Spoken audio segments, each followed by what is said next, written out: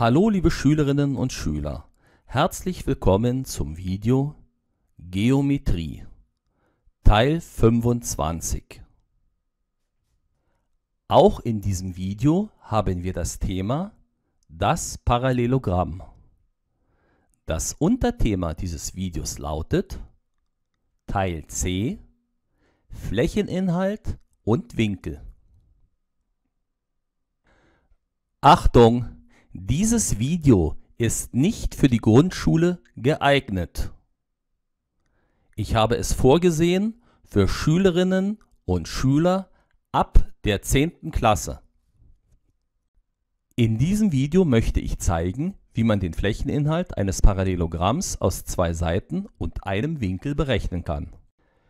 Zur besseren Veranschaulichung hefte ich hier das Modell eines Parallelogramms auf die Tafel. Die Eckpunkte des Parallelogramms werden mit den Großbuchstaben A, B, C und D bezeichnet.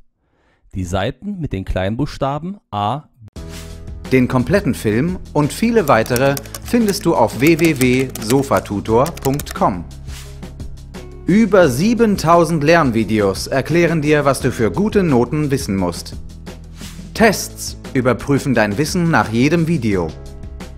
Echte Lehrer helfen dir im täglichen Live-Chat sofort bei deinem Problem. Du kannst außerdem Privatstunden bei deinem persönlichen Online-Tutor buchen, um tiefer in ein Thema einzutauchen. So helfen wir dir, deine Zensuren ohne großen Aufwand zu verbessern. Probiere es am besten sofort aus auf www.sofatutor.com.